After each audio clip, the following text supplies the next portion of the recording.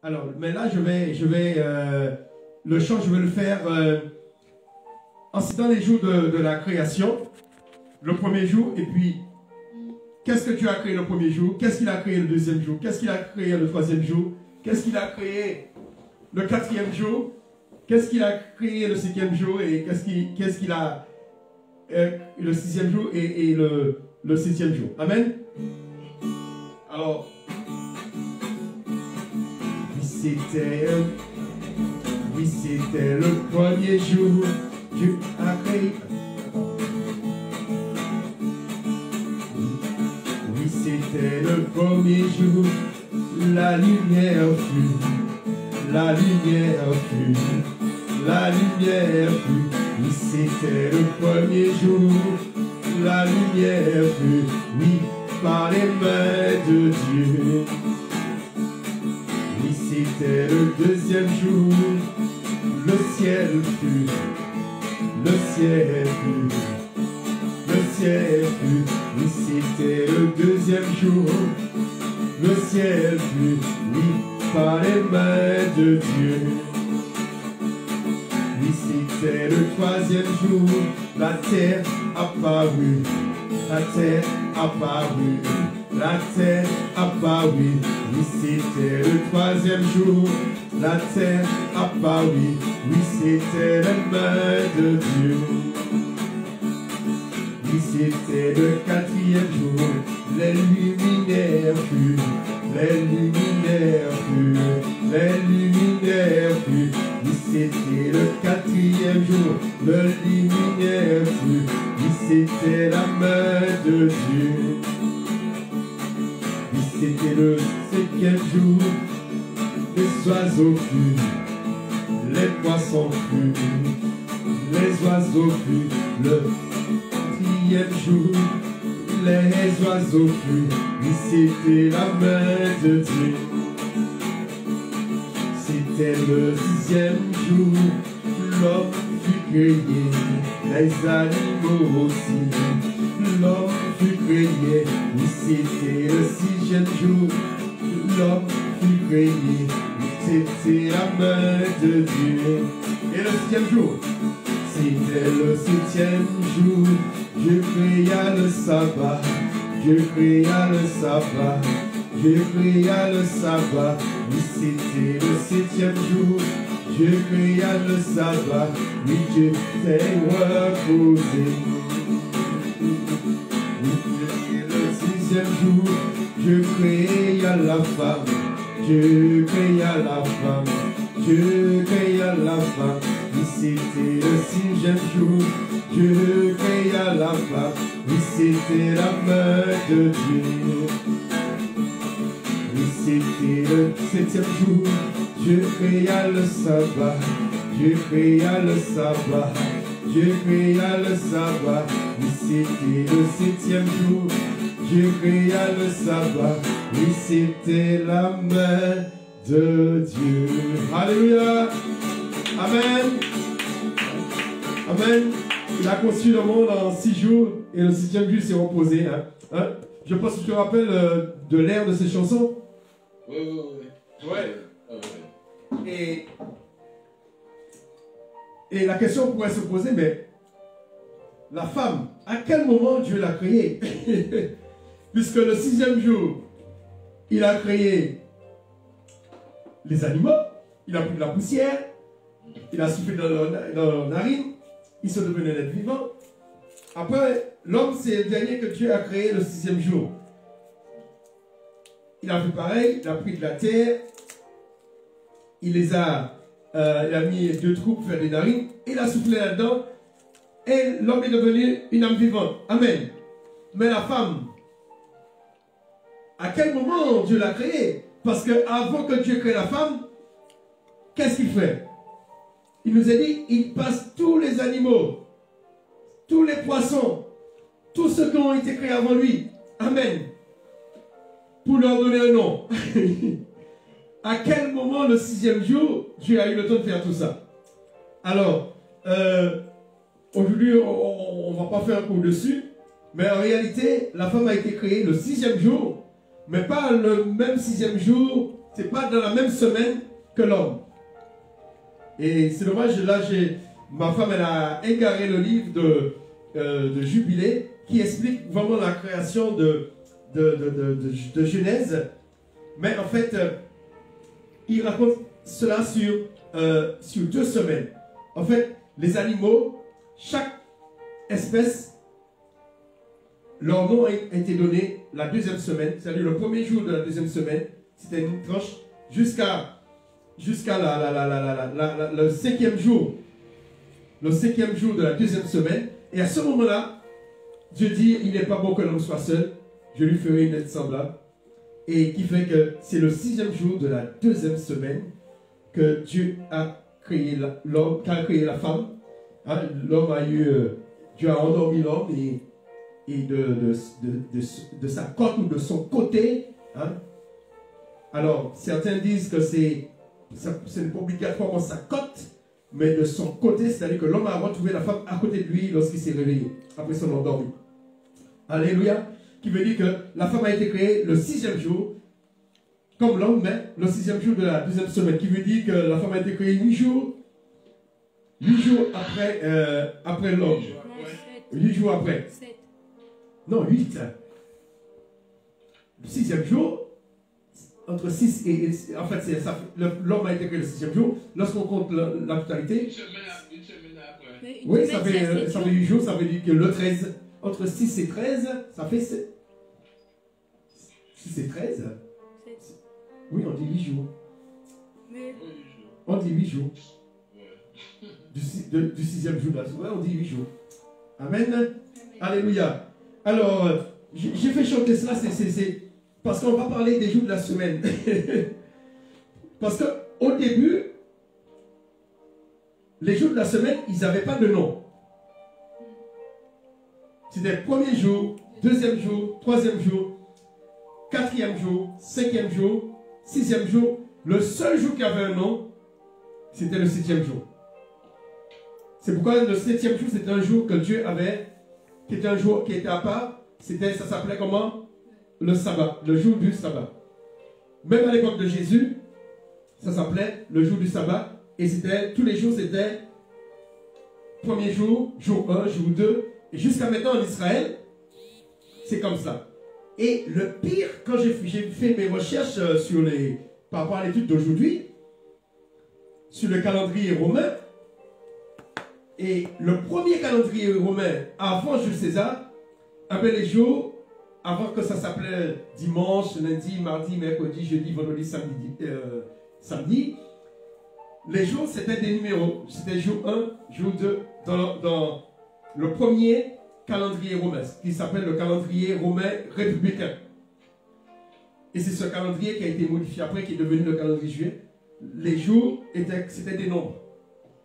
C'était des, des, des, chiffres. Et qui veut dire que eux, ils comptaient les jours comme en Israël. Eux, comme en Israël, ils comptaient les jours comme ça. Et, et aujourd'hui, on va voir la signification de, de ces, de, ces, de, ces jours. Alors, on va commencer déjà par les mois. Alors, le mois janvier, ça vient de quel euh, nom? La dernière fois, on a dit. Ça vient de Janus. Alors, Janus, c'est un dieu romain. Alors, c'était le dieu, pour les Romains, c'est le dieu du commencement et de la fin. D'accord? Alors, il y a un truc que j'ai noté.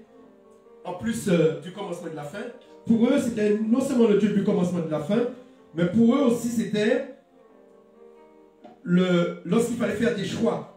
C'est pourquoi les gens font des vœux. C'est à cette période-là qu'ils font des vœux pour s'adresser au dieu Janus, afin que, eh bien, que leurs vœux euh, euh, réussissent. Mais aussi, il y a un truc très très très important pour les, Romains et les Grecs. Le dieu Janus, c'était le dieu des clés et des portes. Et c'est pourquoi, lorsque Julien crée son calendrier, il met le, le mois de janvier, le premier mois de l'année. Parce qu'avant, le calendrier romain commençait au printemps.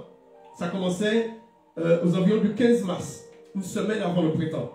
Et, quand quand euh, Jules César a créé le, le calendrier julien, ils ont ajouté deux mois, janvier et, et février. Et janvier, c'est le mois, c'est-à-dire c'est un Dieu, quand tu voulais avoir que des portes s'ouvrent, tu voulais avoir les clés, c'est cette idole qui priait. C'est- pourquoi on parle de passage. Voilà.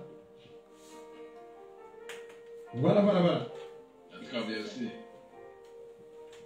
Amen, amen.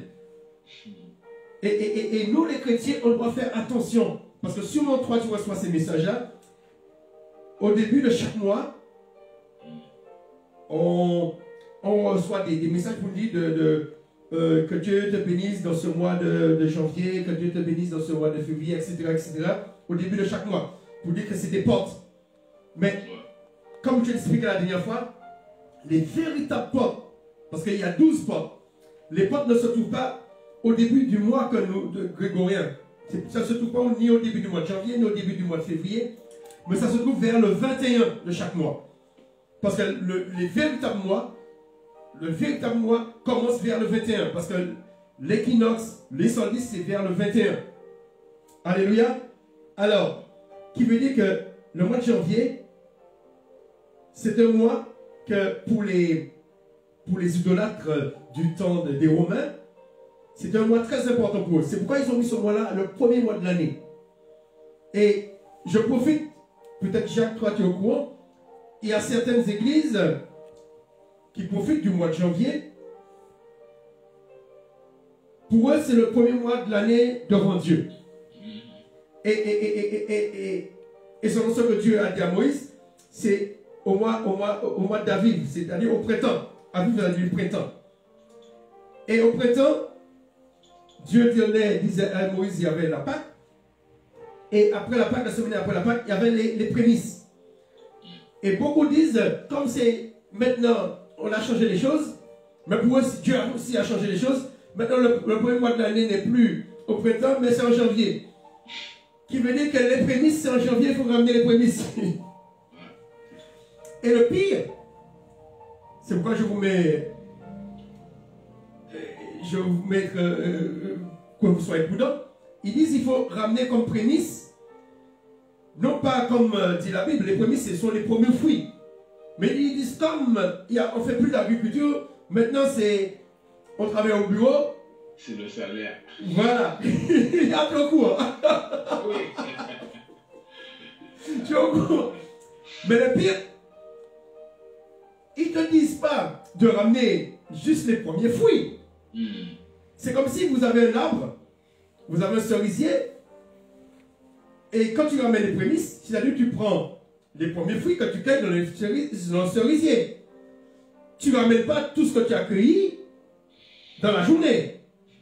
Tu ne ramènes pas tout ce que tu as cueilli dans le mois. Mais eux, ils te disent qu'il faut ramener tout le salaire du mois de janvier. Je ne sais pas si tu es au courant de ça. Oui, oui, oui. Oui, c'est c'est- c'est- c'est- c'est ça. Surtout ceux qui travaillent pour la première fois, ceux qui travaillent pour la première fois doivent emmener le, le premier salaire à l'église. Ouais. C'est pour te dire que on base notre foi sur le mois de janvier. Attends. Et janvier n'est pas le janvier n'est pas le premier mois devant Dieu. Oui, mais si tu, Micro, s'il te plaît. si tu ramènes ton premier salaire à l'église, comment tu fais pour payer tes factures? Ils vont dire que c'est Dieu va pouvoir, c'est ça?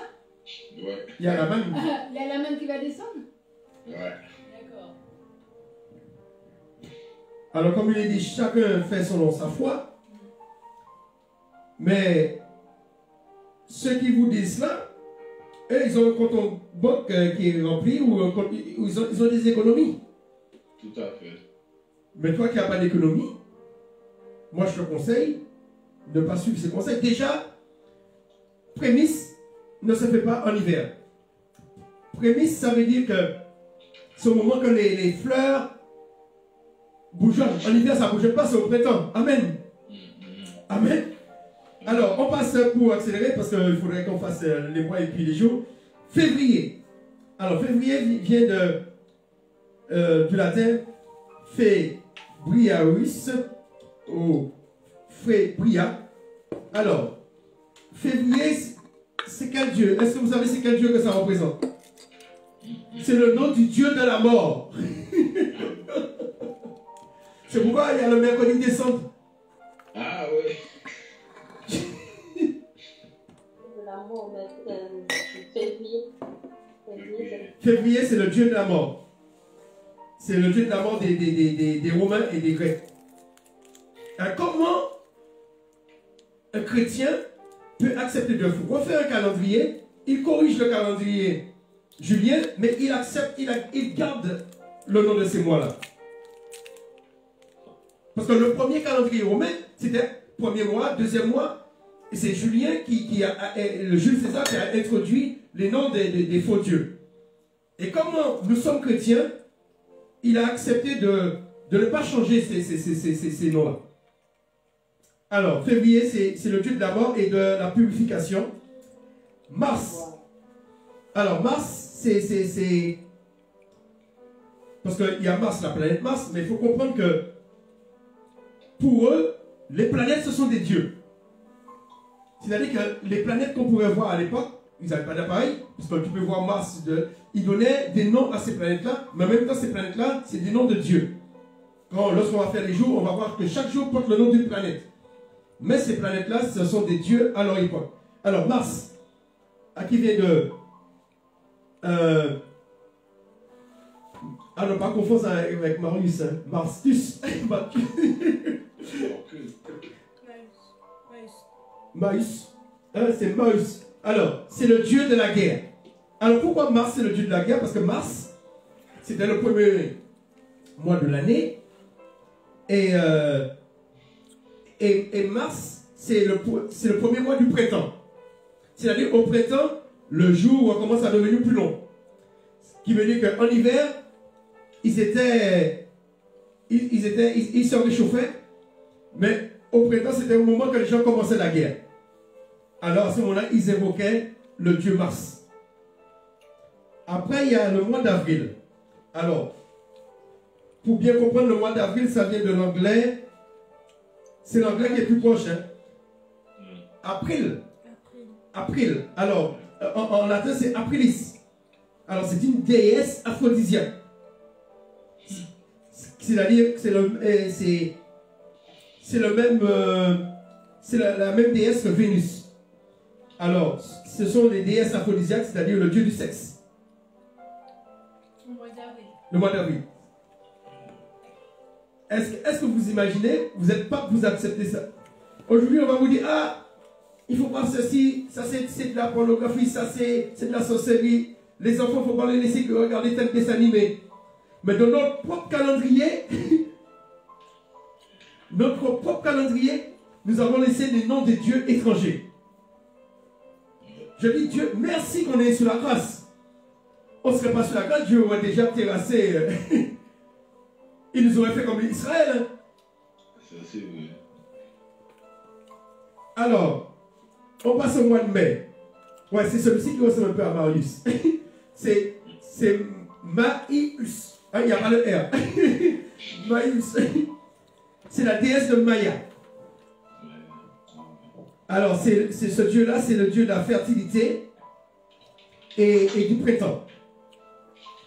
Après, nous passons au dieu Juin. Juin qui vient du dieu Junon. C'est, toujours une déesse de, la fertilité. Alors, qui veut dire il y a 1, 2, 3, 4, 5, 6. Les six premiers mois de l'année, ce sont des noms de dieux étrangers dans un calendrier chrétien. Est-ce que, j'aimerais avoir votre opinion, est-ce que ça c'est normal? C'est vrai, on s'est habitué, En tout cas, c'est pas normal. même si ça fait des siècles qu'on- que c'est- ça fait partie de la culture des Romains, mais en plus, ils imposent ça au monde entier. Parce qu'aujourd'hui, c'est le calendrier le plus répandu. Après, vous avez Juillet qui vient de Jules César, hein, celui qui a conçu le calendrier julien, et Août qui vient de Auguste, qui a mis en place le calendrier julien. Et, et après, ils ont gardé les, les noms de l'ancien, du premier calendrier euh, romain, septembre qui dire le septième mois, en, latin, octobre qui veut dire huitième mois, novembre qui veut dire neuvième mois, et décembre qui veut dire dixième mois. Hein? Et le calendrier euh, euh, romain, il y avait dix mois. Et mais on aurait pu, ils auraient pu les euh, revenir au nom du premier calendrier, puisqu'il n'y avait pas de, mélange. Il n'y avait pas l'introduction des dieux étrangers.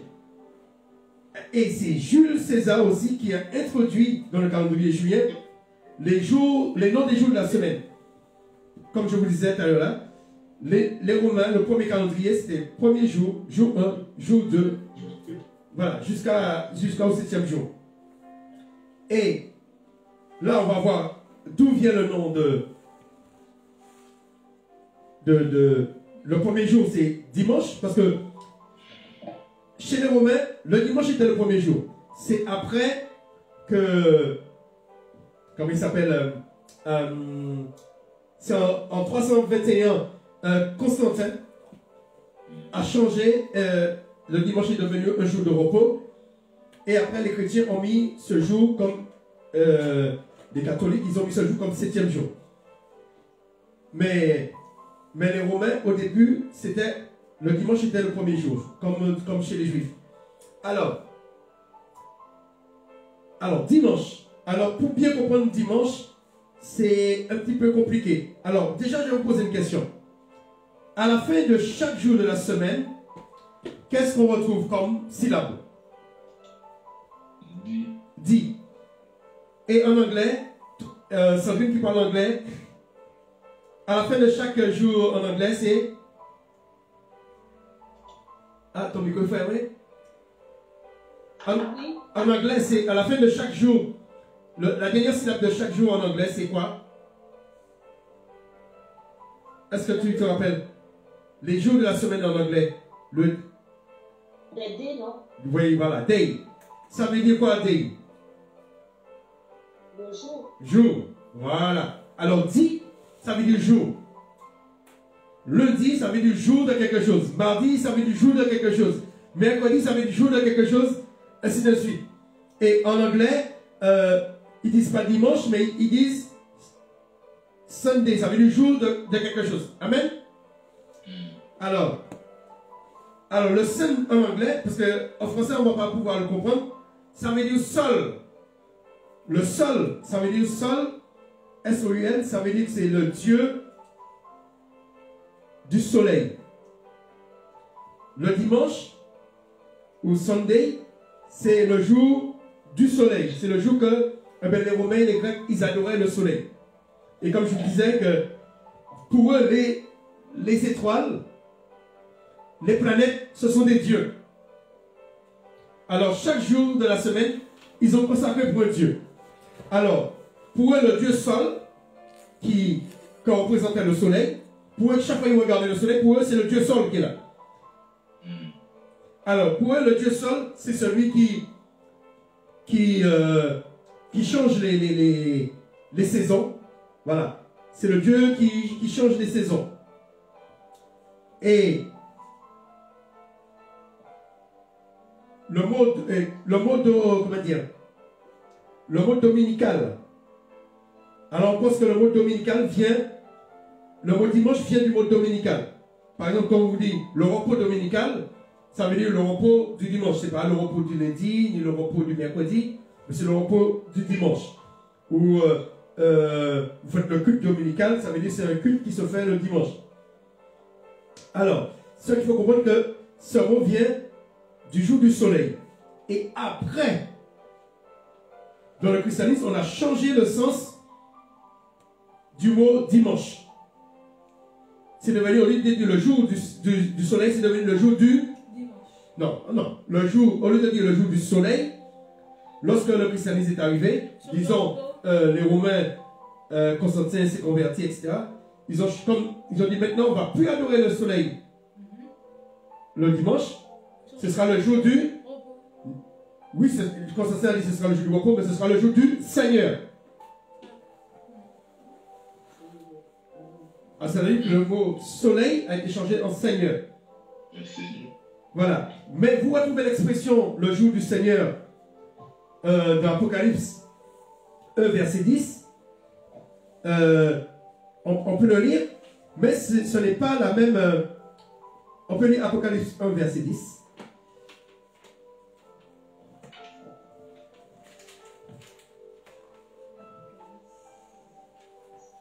Apocalypse 1, verset 10.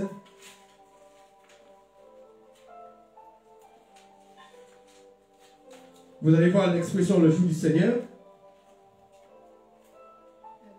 Mais ça n'a rien à voir avec le premier jour de la semaine ou, le dimanche. Lorsqu'on lit comme ça, on a l'impression qu'il parle du dimanche. Mais dans la Bible, lorsqu'on parle du jour du Seigneur, alors, Apocalypse 1, lis-moi s'il te plaît. Le jour du Seigneur, l'Esprit de Dieu se saisit de moi, et j'entendis derrière moi une voix forte, pareille au son d'une trompette. Amen. Alors, lorsqu'il dit le jour du Seigneur nous, par rapport à notre culture, on pense qu'il parle du jour du Seigneur, qu'il parle du dimanche. Mais sachez, à cette époque, on n'appelait pas le dimanche le jour du Seigneur. Les disciples, ils appelaient le dimanche le premier jour. Amen. Ils appelaient euh, le septième jour le sabbat, le jour du sabbat. Le seul jour qui porte un nom, euh, vous pouvez voir dans Luc euh, 13, verset 15, hein, c'est, on peut le prendre là, Luc 13, verset 15. C'est le seul jour qui avait un nom, c'était le, le- c'était le jour du repos. Luc 13, verset 15. Euh, mais le Seigneur lui, mais le Seigneur lui répond, hypocrite chacun de vous ne détache-t-il pas son bœuf ou son âne de son étable le jour du sabbat pour le mener boire C'est le seul jour qui avait un nom.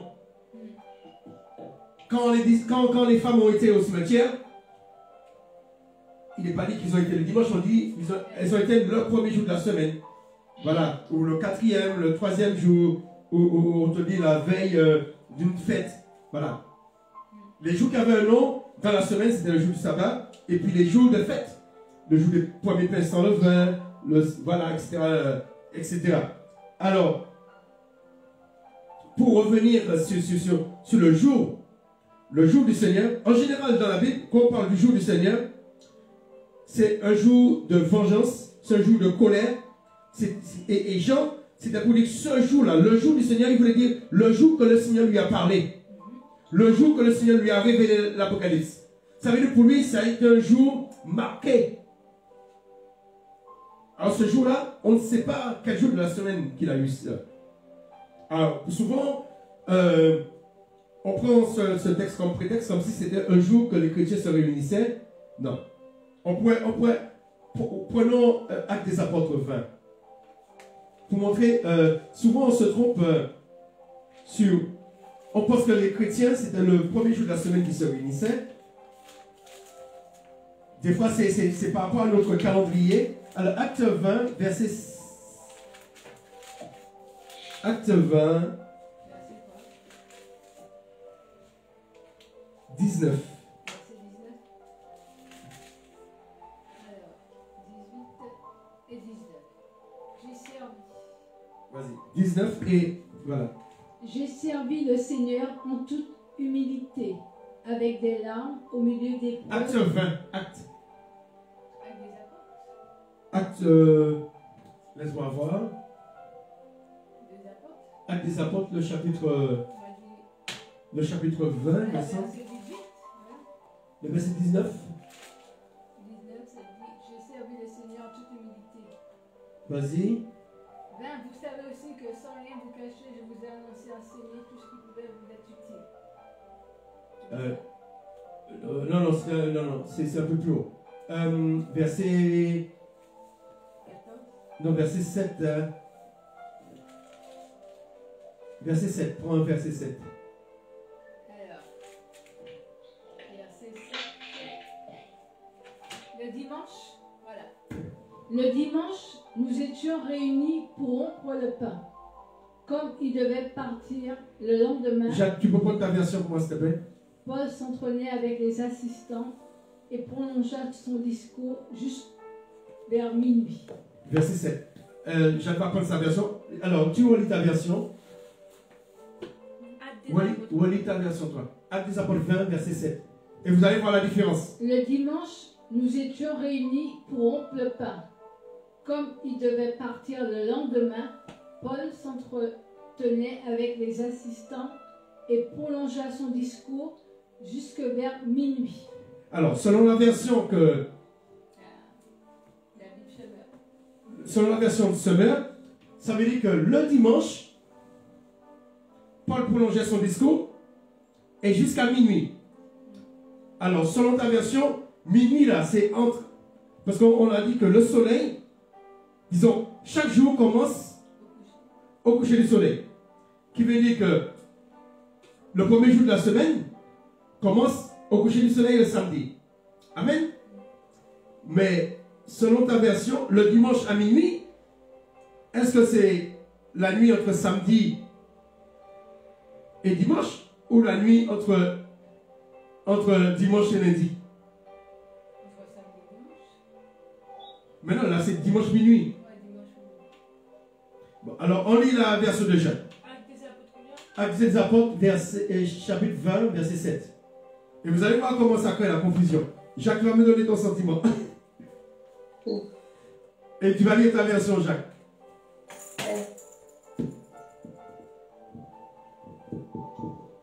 Rapproche ton micro.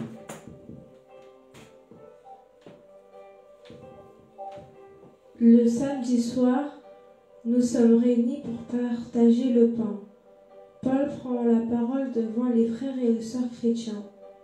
Puisqu'il doit partir le jour suivant, il continue à parler jusqu'à minuit. Amen. Alors là, on voit que il est dit le samedi soir et il a parlé jusqu'à minuit. Là, on, est dans la nuit de le samedi, à, le salut de samedi à dimanche. Mais selon la version de l'hymne, on a l'impression d'être la nuit de, de dimanche à lundi. Alors, Jacques, euh, est-ce que tu peux lire ta version? Actes des apôtres euh, 20, verset 7.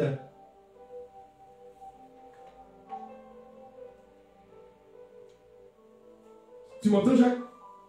Ou Sandrine, est-ce que tu peux lire? Sinon, moi, je vais lire euh, une version. Attends, je- C'est acte combien? 20, verset 7.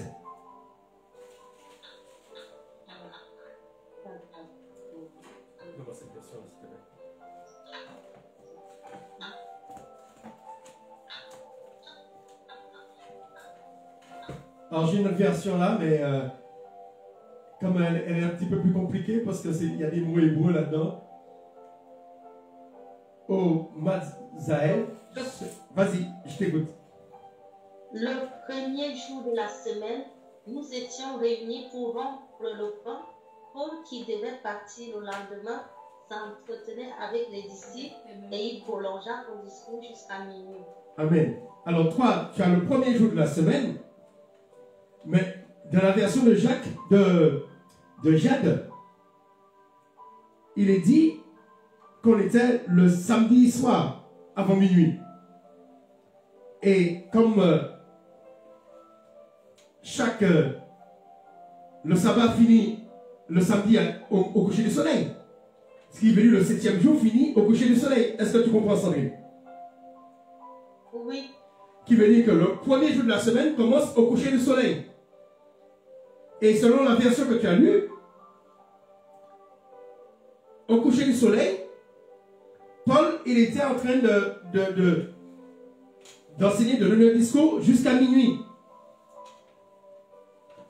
oui, Qui veut dire, on est dans la nuit, par rapport à notre calendrier de samedi soir, minuit qui est parlé là, c'est le minuit après le samedi, après le sabbat. Non pas minuit, comme euh, pour maintenant le dimanche minuit, c'est minuit avant le lundi. Est-ce que tu comprends? Oui. C'est-à-dire que la version de ligne, comme il est dit, le dimanche c'est la première, c'est le premier jour de la semaine, mais ça dit dimanche. Mais ça nous introduit en, en- en erreur parce que nous contrôlons dimanche à partir de minuit. Mais Paul, quand il parlait là, il n'était pas encore minuit. C'est pourquoi la version français courant dit le samedi soir, pour qu'on puisse comprendre, pour qu'on puisse pas se tromper, pour qu'on puisse pas croire que c'est le dimanche minuit, c'est le dimanche soir.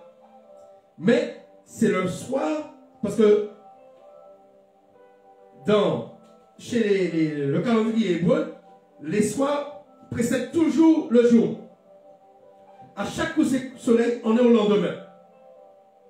Est-ce que tu comprends? C'est pourquoi que ce, texte-là peut créer des confusions.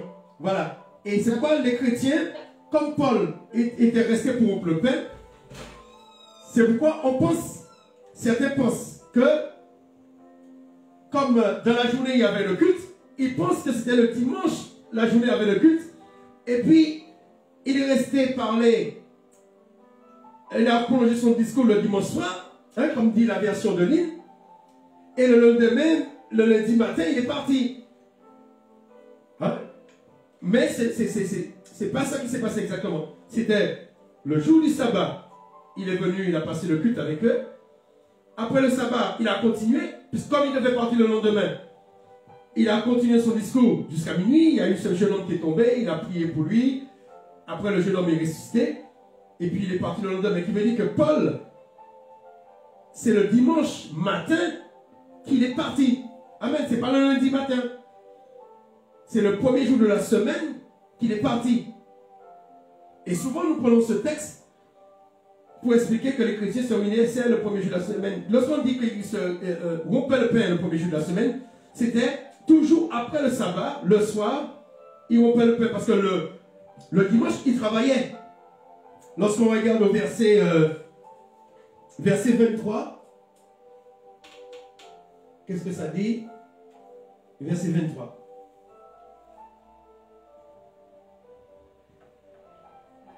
Tout ce que je sais, c'est que le Saint-Esprit m'avertit Euh, non, je crois que c'est pas là. Euh, alors, lis le verset, le verset euh, 13, 13, 13 à 14, 13 à 15. 13 à 15. Pour dire le lendemain, qu'est-ce qui s'est passé? Pour nous, nous avons pris les devants et nous nous sommes embarqués sur un bateau Ça, c'est Luc qui parle. hein. qui nous a emmenés à As- Assos où nous, de- où nous devions prendre Paul conformément à ce qu'il avait décidé. Car il voulait faire la route à pied jusque-là. Quand il nous eut rejoints à Assos, nous avons repris la mer ensemble. Après une escalade, après une escale à Mytilène. Amen. Bon, t'arrêtes là. Qui veut dire que le dimanche, la journée, eh ben, Paul n'était pas là, il n'était pas au culte. hein. Il était sur la route avec eux. Qui veut dire que les chrétiens, ils se sont toujours réunis le septième jour. C'est à l'arrivée du catholicisme que, après que Constantin en l'an 321 que le jour du soleil est devenu un jour de repos.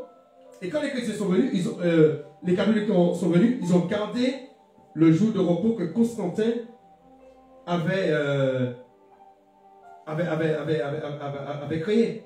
Parce que Constantin, comme il adorait le soleil, il a dit qu'il va faire comme les juifs, ce jour-là, on va adorer, on va adorer le soleil, ce sera une journée de repos.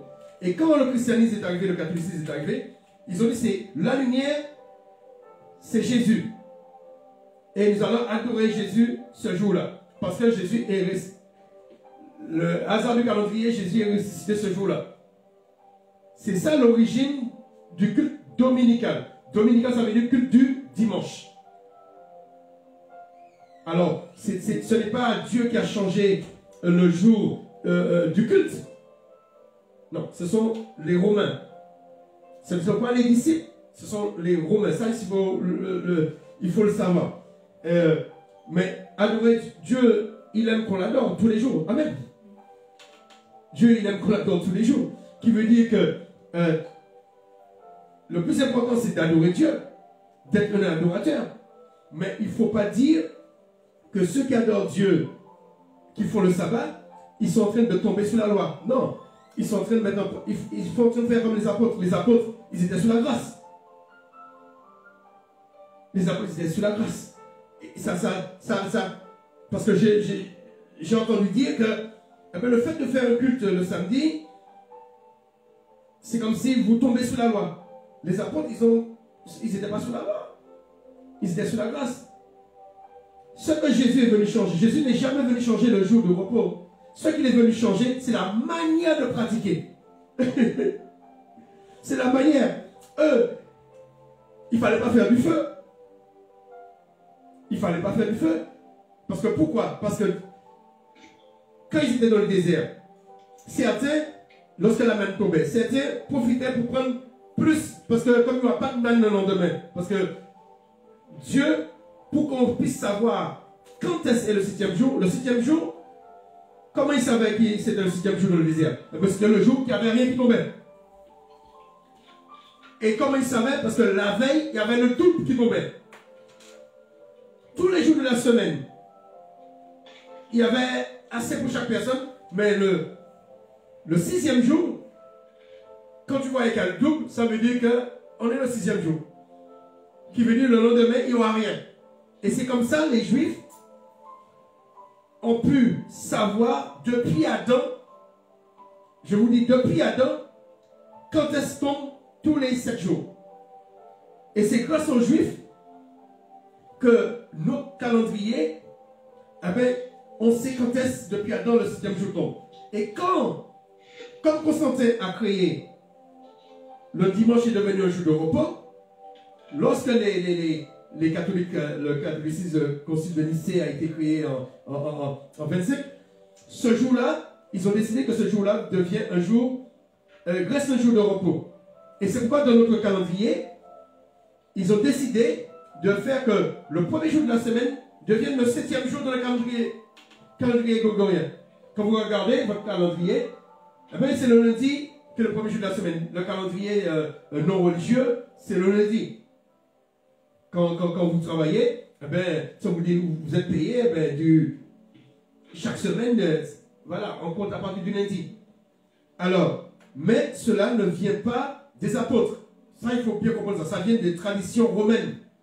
Hein, il faut qu'on fasse la même, la même chose que pour les juifs, les juifs mélangeaient les lois de Dieu avec les lois euh, euh, rabbiniques, la tradition juive. Ça, ce n'est pas une tradition chrétienne. Ce n'est pas la tradition qui vient de, la Bible. C'est les traditions des Romains. Parce qu'il faut savoir qu'on n'a pas seulement une, culture judéo-chrétienne, on a aussi une culture mélangée avec grec et romaine. Parce qu'on vient voir le calendrier ça veut dire qu'on n'a pas seulement du judéo chrétien, on a aussi grec et romain aussi. Il y a des choses que nous avons dans nos cultures, c'est, pas, ça ne vient pas de la Bible, ça vient de nos pères, euh, euh, euh, les pères de l'église qui sont romains, etc. Alors, alors, lundi, on va avancer. Lundi. Alors, lundi, ça vient, comme on a dit, ça veut dire jour. Alors, le lin, ça veut dire luna ça nous rappelle la lune. Amen. Ça veut dire que la lune était, pour les, pour pour les Grecs et les Romains, un dieu. Alors, ce dieu-là, pour eux, c'était la déesse, pareil comme euh, le soleil. Alors, c'était la, c'était la sœur du soleil. La sœur du soleil. Alors, c'était la sœur de sol. Et, et, pareil, c'est, c'est, il, s'adressait à la lune comme pour le soleil, pour, euh, pour les saisons. D'accord? Alors, mars, on l'a vu tout à l'heure là, mardi, c'est pareil que pour le mois de mars. C'est le dieu de la guerre. Alors, mercredi maintenant, ça vient de quel. De quel euh, vous pensez à quelle planète lorsqu'on vous dit mercredi? Mercure. Mercure, voilà. Alors, Mercure, c'est aussi un dieu. Hein? Comme je vous dis qu'à l'époque, c'était les planètes qui pouvaient voir euh, eh ben, sans appareil, et puis ils donnaient des noms à ces planètes-là. Et pour eux, comme sont- ils sont en haut dans le ciel, pour eux, ce sont des dieux qui sont dans le ciel. Alors, ils ont appelé cette planète Mercure, mais pour eux, c'était le dieu du commerce. Mais je vais vous étonner, non seulement c'était le dieu du commerce, mais c'était le dieu des voleurs. Oui. Même les voleurs, ils avaient un dieu. Les voleurs ont un dieu. Alors, mercredi, Attends, il y avait deux alors. attends, mercredi, c'est Mercure. C'est-à-dire que les, il y a les dieux ont plusieurs, euh, plusieurs euh, attributs, Oui. Fonction. ouais, plusieurs fonctions. Lui, c'était pour le commerce, pour que ton commerce, pour que ton commerce marche, Voilà. tu pries Mercure. Mais Quand tu vas voler, tu pour qu'on puisse pas te tenir, tu pries Mercure.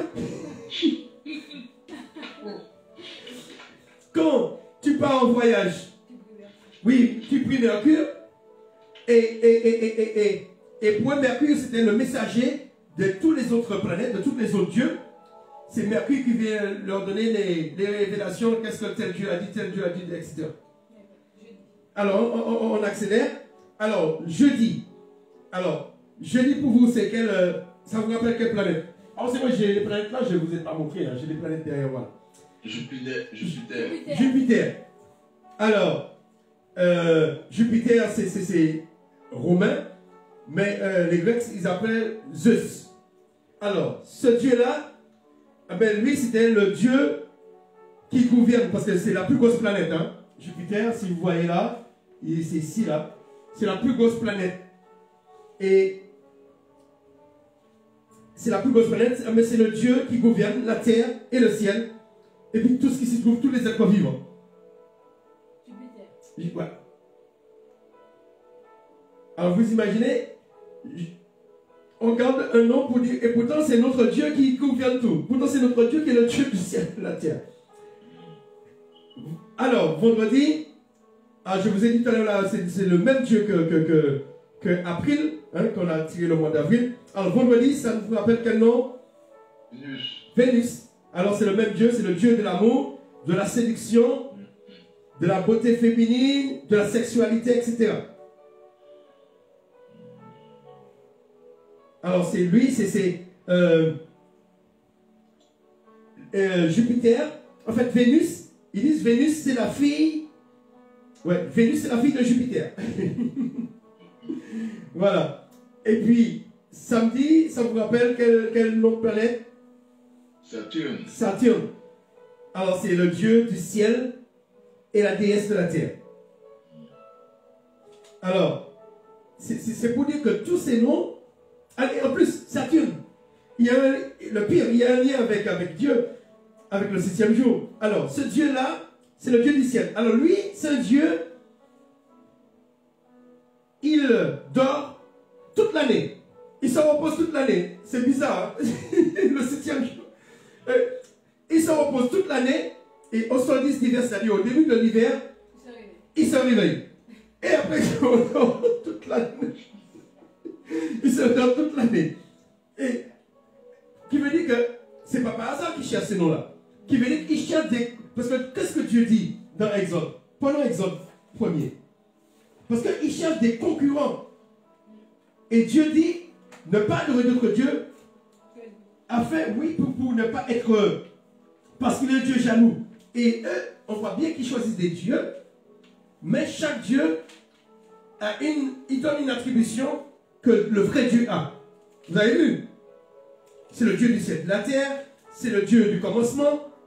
Alors, Exode 20. Rappelons-nous qu'est-ce que Dieu a dit d'Israël. Et eux, ils choisissent des, attributs, mais on pourrait dire que vraiment, on est, heureusement qu'on est sous la grâce. Parce que Dieu serait déjà mis en colère face aux chrétiens. Parce que c'est comme si nous, on est comme Israël qui a accepté les idoles au milieu du peuple. Lorsqu'ils sont entrés dans le pays, ils ont accepté les idoles des étrangers. Et là, au travers, même si c'est un calendrier, même si c'est une écriture, mais les gens qui, qui, qui, qui- ont donné ces noms-là, ceux qui ont conçu notre calendrier, ils sont au courant. Ils connaissent l'histoire des Romains. Alors, qu'est-ce qu'il dit dans Exode 20 on peut lire euh, euh, le, le, deuxième commandement. Vas-y. Oui, le deuxième commandement. Bon, Paul, verset premier jusqu'à. Paul, verset premier. Alors Dieu prononça toutes ces paroles.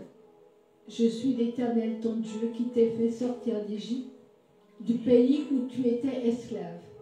Tu n'auras pas d'autre Dieu que moi. Tu ne, te feras pas d'idole ni de représentation quelconque de ceux qui se trouvent en haut dans le ciel, ici bas sous la terre, ou dans les eaux plus bas que la terre. Tu ne te prosterneras pas devant de telles idoles, et tu ne leur rendras pas de culte, car moi, l'Éternel ton Dieu, je suis un Dieu qui ne tolère aucun rival. Amen. Je punis les fils pour la faute de leur père, jusqu'à la troisième, voire la quatrième génération de ceux qui me haïssent. Amen. Arrête-toi là. Dieu ne tolère aucun rival. Et tous les noms des dieux qu'on a cités, la plupart, ce sont des rivaux. C'est grave hein, pour l'Église hein, qui est vraiment. hum, Alors, on peut se poser cette question, mais comment Non seulement ils commencent, ce qui veut dire que c'est les gens qui ont fait notre calendrier, ils n'ont aucune crainte de Dieu. Non seulement ils acceptent de commencer par le mois de janvier, qui est un Dieu euh, rival, rival, qui est le Dieu du commencement et de la fin, parce qu'eux, ils connaissent la Bible. Ils savent très bien que c'est au printemps. Puisque l'ancien calendrier romain commençait au printemps. Qui veut dire que dans la- dans l'ancienne culture romaine, on commençait l'année au printemps. Comme pour les juifs. Et eux, ils ont, ils sont pas revenus. Ils n'ont pas corrigé ce que Jules César a introduit dans la culture romaine. Ils ont continué dans la même culture. Après, les autres, au départ, les orthodoxes et les, protestants n'ont pas accepté ce calendrier. Et après, comme le calendrier a pris de l'ampleur, pour éviter euh, des disputes, la guerre protestant contre catholique, ils ont accepté ce calendrier. Au départ, ils n'ont pas accepté. Je me pose la question, mais pourquoi eux, ils n'ont pas proposé un autre calendrier? Pourquoi ils n'ont pas proposé un calendrier? Le vrai calendrier? Puisqu'il y a les juifs, ils pouvaient, prendre exemple sur les juifs. En créant, les juifs, ils ont un calendrier lunaire. Ils pouvaient créer un calendrier solaire à partir du printemps, comme je disais la semaine dernière, qui commence le premier jour du printemps et qui finit la veille du printemps l'année après. Pourquoi ils ont accepté un calendrier que Dieu dit, il ne veut pas de concurrence, de Dieu concurrent? Je ne sais pas si, si, si, si, si, si, si, si, si vous arrivez à, comprendre, à voir vraiment que, c'est grave. Pour beaucoup de chrétiens, non, c'est- pas grave. C'est vrai, il y a un seul Dieu. On sait que derrière la lune, il n'y a, pas- un Dieu derrière la lune, il n'y a, a pas tous ces dieux-là. Mais Dieu nous dit, même s'il est le seul Dieu, nous n'avons pas à créer d'autres dieux. Amen. Nous n'avons pas à imaginer d'autres dieux. Et tu dois avoir un seul Dieu devant ta face. Là, c'est parce que le niveau technologique, je ne suis pas encore bon, mais je, je vous aurais montré le visage de chacun de ces dieux, c'est les différents statues que ça représente. Et, et- et surtout le, le Janus, il a une tête qui regarde devant, une tête qui regarde derrière. Celui qui représente le mois de janvier. Mais, mais, et- et pour finir, il y a une tête. Et, comme on dit, quand Dieu parle de tête de mois, le début de chaque mois, il dit la tête de mois, qui veut dire que c'est vraiment un concurrent. Il prend la tête de l'année. On ne l'a pas présenté avec un bras, on ne l'a pas présenté avec un pied. L'image qu'on a présentée, c'est deux têtes. Qui veut dire que c'est lui, la tête. Il n'a pas pris une autre image, il n'a pas pris l'image euh, euh, de lion, l'image de- d'un arbre. Non, il a pris l'image de deux têtes. Pour dire que c'est moi la tête. Et c'est pourquoi, comme c'est un Dieu qui était représenté avec des têtes, ils ont dit, mais on va le mettre comme tête de l'année. Mais ce n'est pas à l'homme de choisir. Tu disais. mais sont, ils, sont encore là. On les, on les... Ah, je ne sais pas si les, les Romains, les Romains, je pense que il y a peut-être des gens qui adorent ces idoles, mais je pense que la culture romaine, parce que lorsque le catholicisme est arrivé, c'était pour dire que ceux qui adoraient le soleil, maintenant ils n'avaient plus le droit d'adorer ces choses-là. Ils n'avaient plus le droit d'adorer le soleil, mais ils devaient adorer Jésus. C'était la dictature. Alors, le bon côté, c'est-à-dire que les gens ont arrêté de faire des cultes aux planètes. Mais on a gardé, on a gardé les noms. On fait plus de culte aux, euh, étoiles, à, la Lune, à Saturne. Mais on a noms. Mais ceux qui travaillent dans le domaine satanique, ils continuent. Ceux qui travaillent dans le domaine satanique, ils continuent. C'est-à-dire que les étoiles, les planètes, ce sont des créatures de Dieu. Mais c'est-à-dire qu'on est en train de mettre ces créatures au même niveau de Dieu. Voilà, c'est ça qu'ils ont. On est en train de les rivaliser avec Dieu. C'est-à-dire que c'est ça qu'eux, ils faisaient. Bon, aujourd'hui, comme nous ne sommes pas conscients, euh, euh, Dieu ne tient pas, ne tient pas compte de nos temps d'ignorance, mais sûrement ceux qui travaillent dans le satanisme, ils sont conscients. Ils sont, oui, ils sont conscients. Et moi, je remarque que les scientifiques, les historiens, ils ont beaucoup plus de connaissances que les chrétiens, en fait, parce que les chrétiens se limitent à la Bible, sans toutefois chercher les informations euh, mhm. de, ces choses-là, parce que moi, j'ai été surpris, ça ne fait même pas longtemps que j'ai su toutes ces choses-là, et j'étais choquée, je me dis, c'est pas possible que même euh, le dieu euh, de Titanus, là, le dieu du mois de janvier, il a même un temple à Rome, quoi. Donc ça veut dire qu'il continue encore à, à beaucoup de dieux. Mais oui. Et, et prenons, prenons, le texte pour finir là. Ephésiens 10 que nous connaissons. Ephésiens 6, verset 10. Ephésiens? 6. Parce que derrière les idoles, il peut y avoir des démons. Oui, justement. oui, c'est ça, voilà. Derrière les idoles, il peut y avoir des démons. Et, euh, et des fois, on, on, on, peut chercher, mais où est le problème? Peut-être certains qui écoutent là, ils vont dire, mais attends, il ne parle pas de la Bible, il est en train de parler du soleil, des planètes, des machins. Nous, c'est pas ce qu'on a besoin. On a besoin de, de l'amour, de la sanctification, des, des, fruits de l'esprit, des dons de l'esprit. Maintenant, on va voir l'importance de ce qu'on a parlé là. Ephésiens 6, verset 10.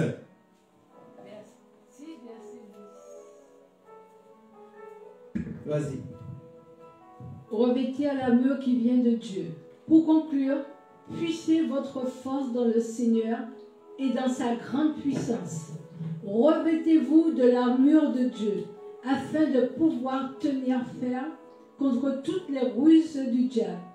Car nous n'avons pas à lutter contre des êtres de chair et de sang, mais contre les puissances, contre les autorités, contre les pouvoirs de ce monde des ténèbres et contre les esprits du mal dans le monde céleste.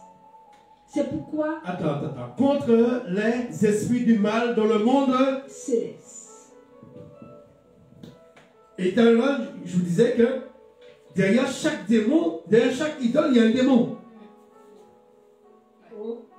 Qui veut dire les pouvoirs dans les lieux célestes. Qui veut dire que nous sommes, en train de...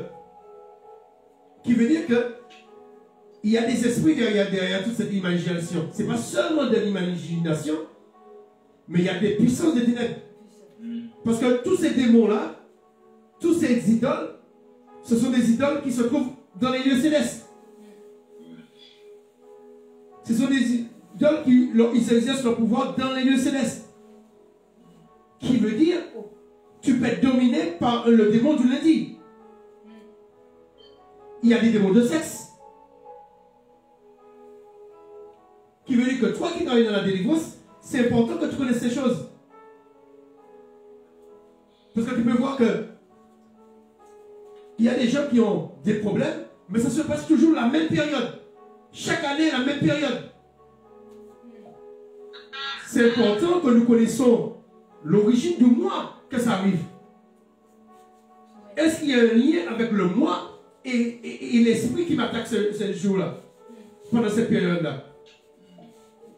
Comme ça, vous allez comprendre que c'est pas juste ce que je suis en train de faire, c'est juste intellectuel, mais c'est spirituel. C'est pour que Dieu puisse nous ouvrir dans le domaine spirituel, surtout nous qui travaillons dans la délivrance. Vous allez voir beaucoup de gens, il y a des gens qui sont malades, ils ont des migraines, ou ils ont tel problème, mais toujours la même période. Et en plus, j'ai remarqué qu'il y a des, des- il y a des mois où tu es plus attaqué spirituellement par rapport aux autres mois. Voilà. Parce que ces esprits-là, sans nous rendre compte, ils sont beaucoup plus invoqués.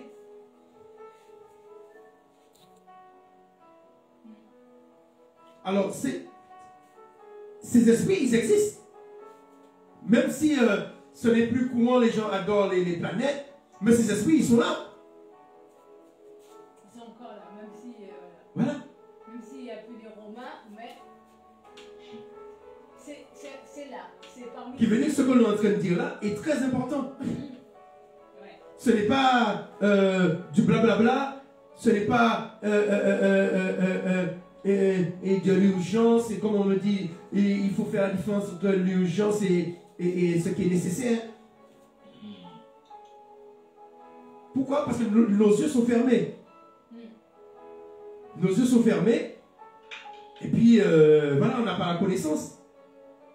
Mais peut-être par rapport à ce que je viens de dire là, quelqu'un va peut-être trouver la, la clé de, de sa délivrance ou la clé de la délivrance de quelqu'un. Il se dit, ah, mais ça arrive toujours au mois de mars. Elle a tel, tel, tel, tel, tel problème. Eh bien, voilà, on comprendra. Dieu est en train de nous révéler les, les- les- les- mystères. Bien, même si on sait qu'il y a un seul Dieu, les idoles, ce sont des dieux qui, qui- n'existent pas. Il y a un seul Dieu. Mais il y a des esprits. Voilà. Ce sont des esprits qui existent dans les lieux célestes. Les, les comment ça s'appelle les, les, les, les, euh, ceux qui font l'horoscope là, les, euh, les astrologues. C'est, c'est, ils- c'est- c'est- ils, ils observent eh ben, les, les étoiles, les planètes. Qui veut dire pour eux, ce sont des esprits. L'esprit du bélier, chaque, chaque signe, ce sont des esprits. hein. Chaque signe, ça représente des esprits. Et même des animaux, parfois, bélier. Ouais, bélier, ce sont des esprits. C'est pourquoi il te que ces esprits-là ont une influence sur toi. Dieu nous a créés, non pas pour qu'on ait de l'influence de, de- de- d'esprit extérieur. Pourquoi les gens qui sont nés dans, dans cette période-là C'est pourquoi on parle de domination. Tu es Dieu de l'horoscope, mais ça veut dire qu'il domine sur toi qui est, qui est né dans cette période. Et si tu, si- si tu crois qui, qui, qui, qui, qui- qui- que c'est eux ton Dieu, mais il faut dire que Bélier n'est pas ton signe. Sagittaire n'est pas ton signe. Amen. Ah oui. Je comprends. Parce que tu es en train de donner des, des puissances dans les lieux célestes, autorité sur toi. Tu n'as pas à diriger ta vie. Aujourd'hui, il te dit non, il ne faut pas sortir parce que tu auras une malchance, tu auras un problème. Tu te laisses diriger parce que quand tu, tu, tu, tu écoutes l'horoscope, tu deviens accro comme une drogue. tu deviens accro et comme, comme, comme, comme une drogue. Il te faut ton horoscope, il faut savoir qu'est-ce qu'on va dire, il faut que tu connaisses ton avenir, il faut ceci, il faut cela. Et tu peux pas. Et c'est comme ça que tu vas emmener ton argent pour les, euh, les- les voyants. Parce qu'un voyant, tu ne vas pas le voir euh, une fois. Un voyant, c'est pas. Quand tu vas voir un médecin, c'est pour qu'il puisse t'apporter euh, les solutions pour ta guérison. Ça veut dire que si tu es guéri, tu ne vas pas revenir le voir. Mais le voyant, son système, c'est que il va t'apporter des solutions, mais une solution pour que tu puisses toujours venir le voir. pour que tu deviennes un, un client, un client régulier. Tandis que le médecin, il te guérit pour que tu puisses venir le voir le moins possible. Le moins possible. pour qu'il puisse s'occuper des autres. Hein? Mais le voyant, il va, faire tout pour que tu puisses dépendre de lui. Parce que c'est son, son travail, il faut que tu lui apportes de l'argent. Il te dit, eh ben, il faut m'emmener tant pour, euh, si tu veux voir la guérison, il faut tant. Et ça, ça je, profite pour, concernant les chrétiens. Lorsque vous priez pour quelqu'un, vous avez reçu gratuitement, donné gratuitement. Ceux qui vous disent qu'il faut donner, il faut donner une dîme à celui qui t'a prié pour toi, non, vous pouvez faire une offrande. La dîme, c'était pour les veufs, les malheureux, les veufs, les pauvres. La dîme, ce n'était pas, pour les, lévites. Hein. Ce n'était pas pour les prêtres. C'était pour les veufs. Les veufs, les orphelins, les nécessiteux. Vous pouvez faire une offrande pour remercier Dieu. Mais vous n'êtes pas obligé de faire cette offrande à celui qui a prié pour vous. Jésus a prié pour un lépreux. Qu'est-ce qu'il lui dit? Va te montrer au prêtre. Donne une offrande. Jésus n'a pas demandé une offrande à lui. Hein. Amen, Jacques. Amen. tu vas dire, c'est moi qui ai prié pour toi, c'est à moi de faire l'offrande. Dieu t'a béni, tu dois bénir Dieu. Amen. Dieu t'a béni, tu dois bénir Dieu au retour. Mais peut-être l'offrande, c'est à ton pasteur, il fallait le faire. Ou peut-être l'offrande, c'est à quelqu'un d'autre qu'il fallait le faire. Amen. Parce que Dieu t'a béni, tu veux bénir quelqu'un d'autre. Mais il est important que les chrétiens comprennent, il faut rendre grâce à Dieu. C'est ça, rendre grâce à Dieu. Dieu m'a guéri, eh bien je fais, je fais une offrande parce que Dieu m'a béni.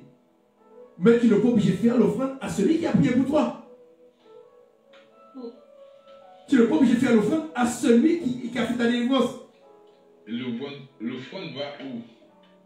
Non, quand tu fais l'offrande, tu fais l'offrande à la personne. À une personne. Mais quand tu fais, quand tu fais, quand, quand, on fait la dîme, quand on fait ces trucs-là, c'est pour les nécessiteux. Qui veut dire que toi, tu peux décider eh d'aider telle œuvre. Hmm telle œuvre caritative, qui peut être une œuvre chrétienne, qui peut être une œuvre euh, euh, euh, la fin de le monde, médecin du monde. Tu comprends? Dieu te met à cœur de soutenir une œuvre. Mais nous, les chrétiens, on ne va jamais dire penser à la médecin du monde, tout ça, parce que nous, ce qu'on veut, c'est que ça reste dans le milieu.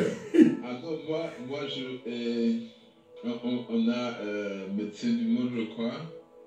Et puis, euh, pour le cancer aussi, je crois. Voilà.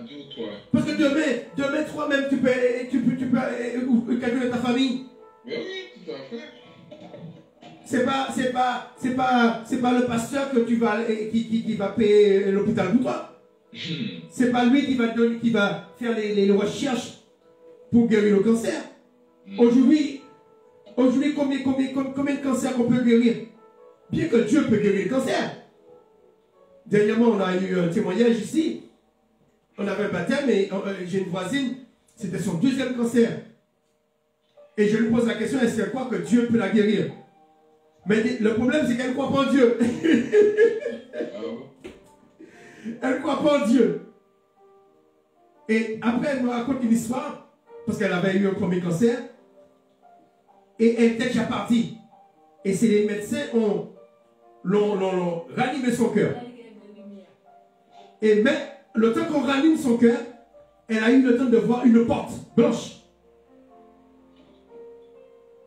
Elle a vu la porte blanche qui brillait comme une lumière. Et après, elle est revenue dans son corps.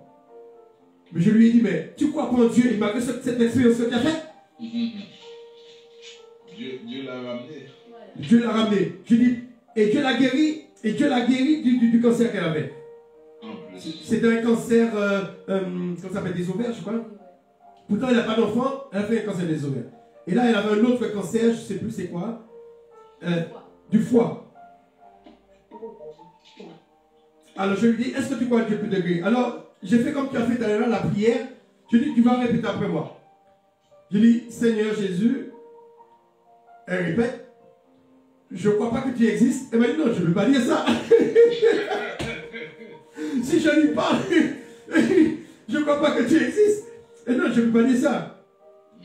Je dis, bon, tu vas dire, si tu existes, guéris-moi. Et elle a répété, si tu existes, guéris-moi. Elle a été faire ses, ses examens. Le médecin lui dit, il n'y a aucune trace de cancer. Hmm. Elle dit à ma femme, elle a rencontré ma femme, elle dit, jusqu'à maintenant, elle ne croit pas. Elle ne croit pas que, qu'elle est guérie. Oh. Non, mais là, j'ai dit, et ma femme lui a dit, et de manière euh, euh, euh, en parabole, les miracles existent. hein. Elle a dit, oui, oui, oui, les miracles existent. Elle sait, elle- elle sait très bien que, que c'est, Dieu qui l'a guéri. Mais je vous dire que Dieu a guéri quelqu'un qui, a du mal à croire. Vous savez que des fois les métropolitains, ils sont cartésiens, voilà, il faut... euh, et Dieu l'a montré, j'ai dit, mais Dieu va te montrer. et là, elle, dit, mais... elle dit qu'elle ne croit pas, mais c'est dans le sens qu'elle elle, elle, elle, ne- revient pas à savoir qu'elle a été guérie de deux cancers. Mais là. Oui, parce que normalement, elle devait entrer pour qu'on puisse lui faire la chignon. Hmm. Et, et là, on lui dit, pas de chignon parce qu'il n'y a aucune trace.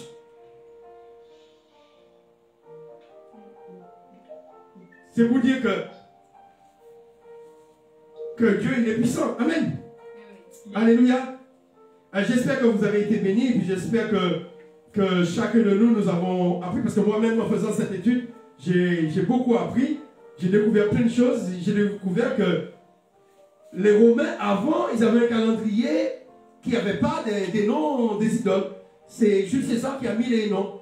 Et puis, les catholiques, quand ils ont continué, ils n'ont pas enlevé ces noms dans, dans le, dans le nouveau calendrier qu'ils ont créé. Ils ont, ils ont gardé. Ils ont gardé.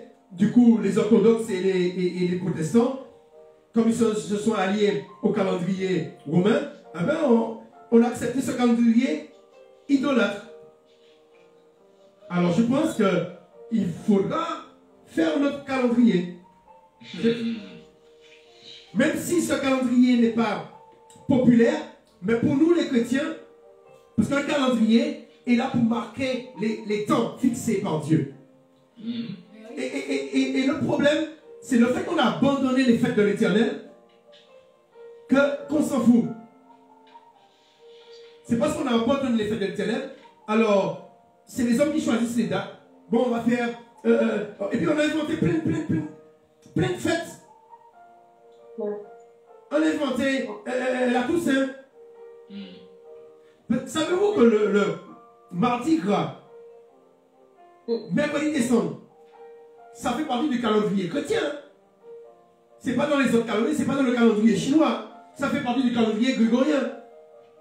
Et le mardi gras, a- a- a- a- sa- en plus, c'est le démarrage du carême. Ouais. Qui veut dire que c'est lié. Quand mercredi, mardi gras, mercredi décembre, et puis le carême commence. Ça veut dire qu'on mélange Dieu dans tout. Puisque le mardi, comme je vous dis, c'est Mars. Mars. Le dieu de la guerre. Alléluia. Amen, que Dieu soit béni. Nous allons prier vraiment que. J'espère que. Je pense que l'heure est grave. L'heure est grave parce que j'espère qu'on est conscient que. En fait, on est dans. Non seulement dans un monde, mais on est dans un système d'idolâtres sans nous rendre compte on est dans un système idolâtre. On est en train de défendre un système idolâtre sans savoir qu'on est en train de défendre un système idolâtre. En fait, euh, Tu disais, Sandrine Oui, en fait, ce que je trouve dommage, c'est que même la résurrection de Jésus, ça devient. En fait, on nous a menti parce que moi, je trouve que c'est très grave parce qu'il y a beaucoup de personnes qui sont mortes, qui n'ont pas connu cette vérité-là. Et je trouve que quand on est sur terre, c'est d'abord connaître la vérité pour les générations à venir. Oui, mais bon, Dieu Dieu ne tient pas compte des temps d'ignorance. Oui, mais maintenant que nous, on a tout compris. Heureusement d'ailleurs. l'information que vous êtes en train de dire là, ma mère me dit qu'elle le savait. Elle me dit, mais maman, tu m'as jamais parlé pour le Ah, ta maman le savait.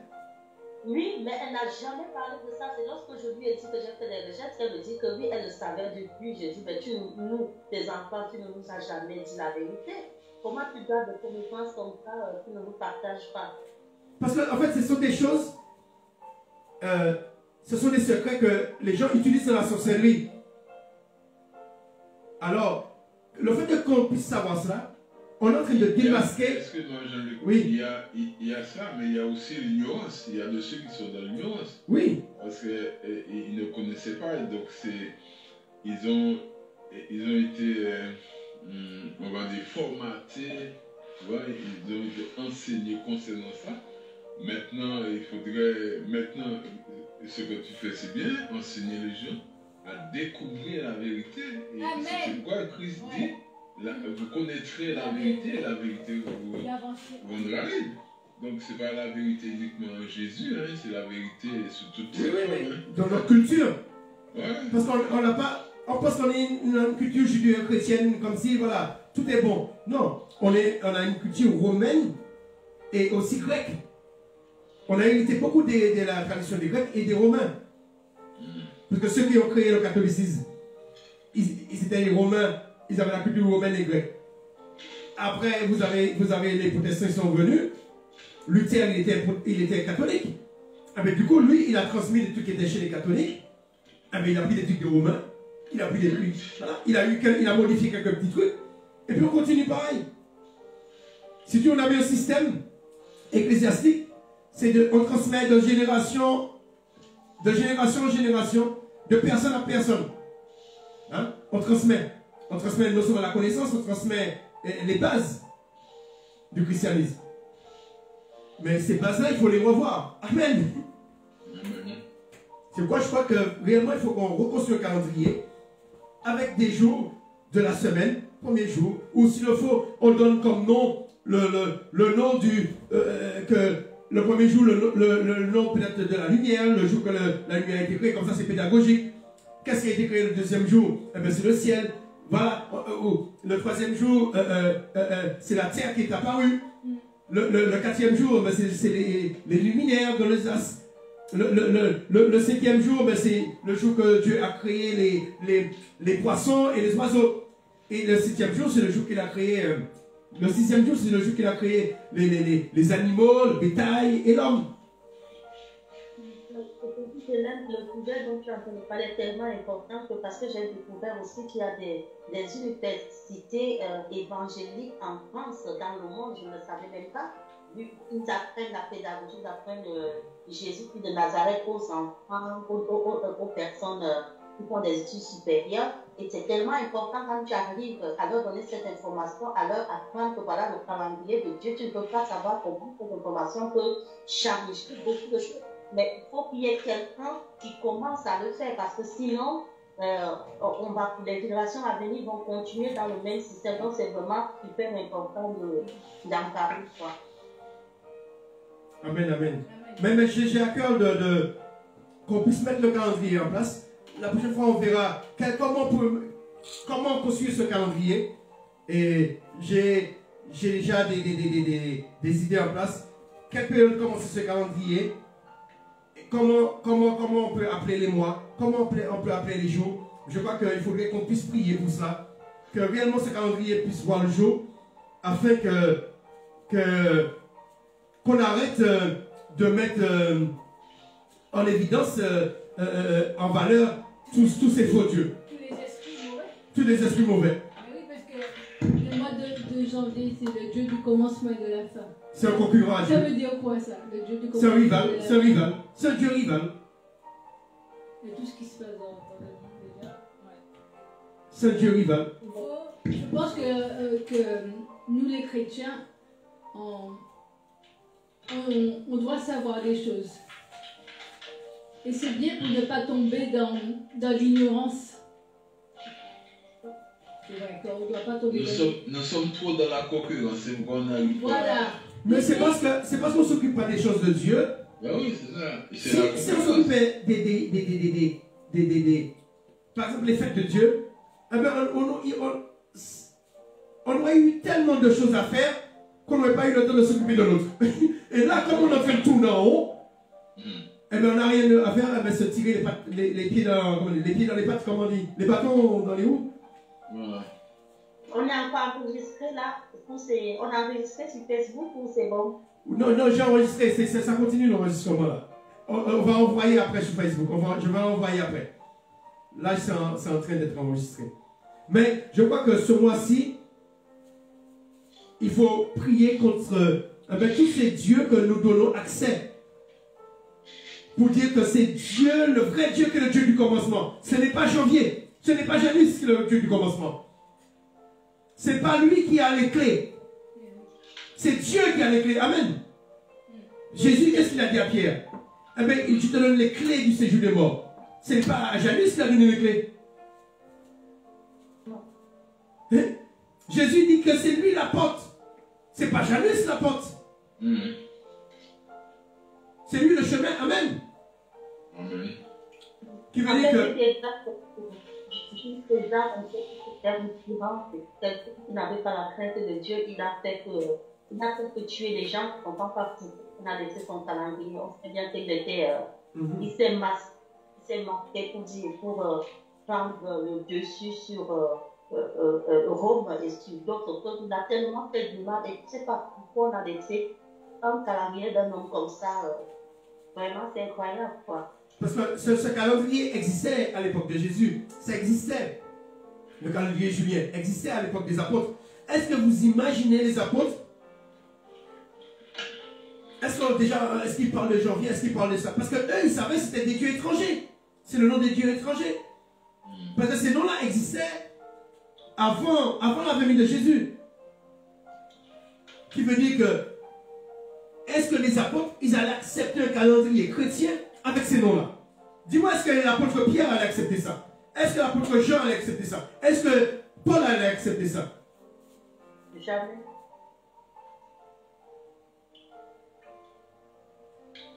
Alors, qui veut dire que nous avons- il nous reste encore des combats.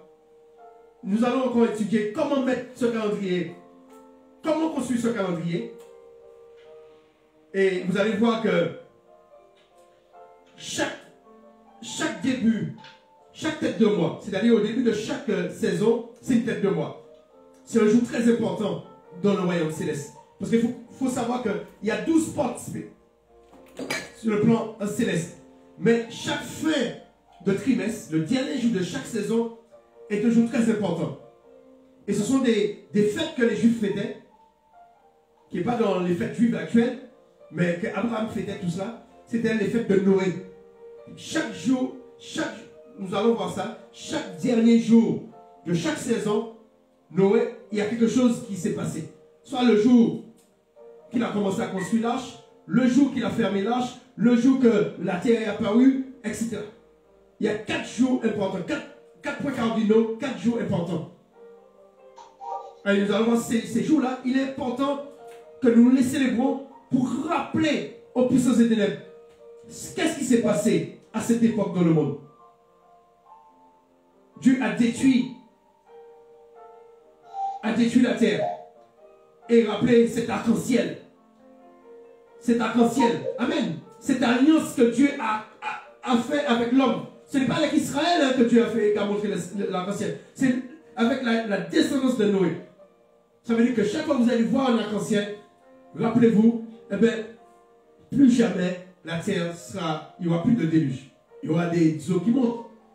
Mais qui veut dire que Dieu a pris son engagement, a fait cette alliance, mais avec toutes les générations de la terre. Que, avec ceux qui croient en lui comme ceux qui ne croient pas en lui. Et puis nous allons voir comment faire. Et, et je ne vous ai même pas parlé des noms des saints. Les noms des saints qui sont là, c'est ceci, là, c'est cela. Là, ce serait trop long. Vous voyez, on, a un calendrier. Mais bon, oh, comme on est inconscient, on est ignorant. Et vraiment, on a à lutter contre les puissances des ténèbres. On a à lutter contre les puissances des ténèbres. Alléluia. C'est comme, comme, comme Dieu qui, qui dit, euh, il cherche un, une personne pour intercéder pour les autres. Amen. Alors, euh, Une personne peut une mettre le calendrier. personne qui peut mettre le calendrier pour ouvrir les yeux des autres. Amen. Mais on va le mettre en place, on va le mettre en place, on va le mettre en place. On va étudier ensemble les jours, les dates, et puis les fêtes qu'on va mettre. On va, et comme ça, nous, ça va, on va apprendre la Bible en même temps. Comme ça, on saura Jésus à quel moment qui s'est baptisé. Parce que lorsqu'on va voir que lorsqu'il a, il est entré, comment dire, il est entré dans le temple, pas dans le temple, il est entré euh, dans, dans, dans, son, dans, sa, dans sa patrie, et puis il a ouvert le livre d'Ésaïe. Il a lu le passage. Vous vous rappelez? Les Juifs, comme il y a 52 semaines, chaque passage d'Ésaïe est lu chaque année à la même époque. Par rapport à ça, on saura à quelle époque Jésus a lu cela? Et Jésus, comme il a passé les 40 jours dans le désert, on va remonter 40 jours. Comme ça, on saura quelle période il a passé dans le désert, dans ce, dans ce calendrier. Et on saura quelle période il s'est fait baptiser? Ce sera vraiment un calendrier pédagogique. Euh, je, je me pose une question, mais c'est moi-même. hein. Je me dis, il y a des prophètes. Ah, ouais. Est-ce que Dieu, est-ce que Dieu ne parle pas aux prophètes sous les calendriers pour dire à son peuple? Parce qu'il y a des prophètes qui, qui disent euh, Dieu te bénit, mais est-ce que Dieu ne parle pas aussi de leur d'ouvrir les de, de, de parler au peuple sous le calendrier? Je, je, je me pose une question. Je sais pas, euh, voilà. Mais peut-être, euh, peut-être, euh, Oh, comme ils ont pas l'information, parce qu'en fait, Dieu te parle, mais il faut te cultiver aussi. Comme oui. Sandrine disait.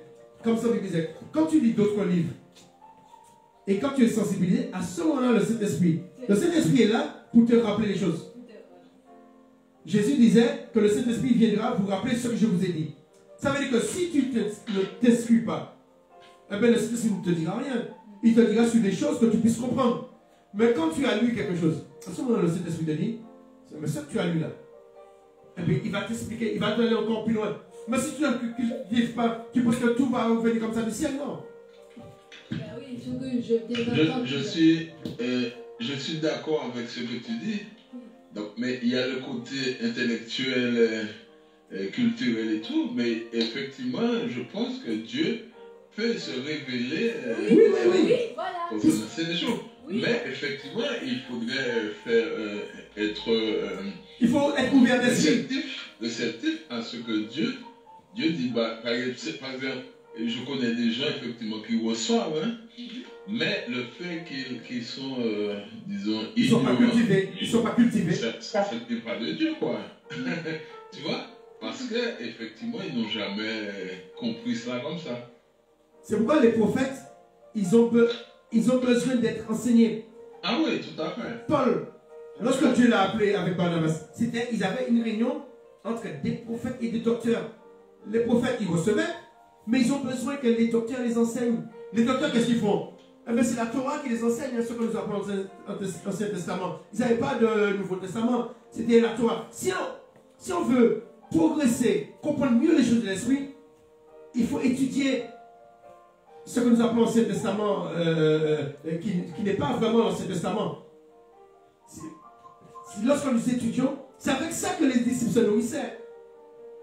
Lorsque, lorsque euh, euh, comme il s'appelle, euh, euh, Philippe a rencontré l'eunuque, qu'est-ce qu'il était en train de lire? Le livre d'Ésaïe. Pour moi, le vrai livre du Nouveau Testament, le livre de la Nouvelle Ésaïe, c'est un livre de la Nouvelle Alliance. Mais c'est un livre de la Nouvelle Alliance qui a été écrit 400 ans avant la venue de Jésus. Parce qu'il faut se mettre à la place d'Ésaïe. Lui, c'est des poèmes qu'il écrit. C'est une poésie. Mais au travers de la poésie qu'il écrit, Dieu l'inspire, Dieu lui montre, Dieu lui donne des révélations sur l'avenir. Sur Jésus, sur lorsqu'il va venir, etc. Mais il faut se mettre comme si quelqu'un qui écrit, comme Sandrine est là, elle écrit des chansons ou elle écrit euh, euh, euh, des poésies. Mais les poésies qu'elle dit là, c'est pas sur son jardin, etc. Mais c'est sur la vision à venir. Tu disais Jacques Je m'éclipse. Ouais, ok. Eh ben, on, va, on va prier et, et- et on, va, on va se laisser. Eh ben, je te laisse prier, Jacques. D'accord. Euh, D'accord, merci. En tout cas, je crois que ça, ça, ça fait du bien, ça, ça me fait du bien, ça doit nous faire merci. du bien. Et puis, il faut continuer dans, il faut continuer dans cette, euh, dans cet élan, quoi. Amen. De quoi Je ne sais pas si vous allez me voir, je suis dans le noir là. Dieu éternel, nous te bénissons. Nous te louons, Seigneur. Nous te disons gloire, louange, honneur, puissance à toi, Seigneur. Merci pour ta parole. Merci pour ton serviteur que tu as disposé. Merci parce que c'est encore un bienfait pour nous. Seigneur Dieu éternel, d'apprendre, de connaître, de découvrir aussi combien parfois nous sommes dans l'ignorance. Mais grâce soit au Dieu à toi, puisque ta parole nous dit, sans tenir compte des temps d'ignorance, tu annonces maintenant. Alors tu annonces au travers de ton fils, de ton serviteur, combien nous devions aussi apprendre à découvrir, Seigneur mon Dieu, à cultiver, Seigneur mon Dieu, les bienfaits qui viennent de toi et qu'à jamais éternel Dieu, nous ne soyons pas ballottants, flottants partout vent de doctrine. Reçois la louange, reçois la gloire. Béni sois-tu dans le nom de Jésus, Père. Amen, Amen. amen. Alléluia. Amen. Soyez bénis. Je vais prier pour le pain et le vin. Seigneur, que tu puisses bénir ce pain. Tu puisses remplir les greniers de ceux qui sont dans le besoin. Que tu puisses multiplier le pain dans les familles avec ces temps de, ces temps de disette. Tu puisses bénir tous ceux qui sont dans le besoin. Seigneur, je te prie pour notre frère Guy qui n'est pas avec nous, mais là où il est, Seigneur, tu puisses le visiter et tu connais ses difficultés, que tu puisses mettre la main, tu puisses mettre la main et que tu puisses, puisse trouver une solution, Seigneur, pour pouvoir s'en sortir. Alléluia. À toi seul soit la gloire. Je te présente aussi cette coupe, cette coupe qui représente ton sang. Bien, que ton sang puisse nous protéger contre toutes les ruses de l'ennemi. Que ton sang puisse nous protéger, Seigneur, contre toutes les dominations, contre toutes les dominations, que ton sang puisse nous protéger, Seigneur. Alors verse ton sang sur Sandrine, ton sang sur Jacques, ton sang sur tous ceux qui écoutent là, qu'ils soient baignés, lavés par ton sang, lavés par ton sang, que tous les péchés soient effacés. Alléluia. Et nous te prions, Seigneur, pour réellement tu puisses nous guider dans ce calendrier.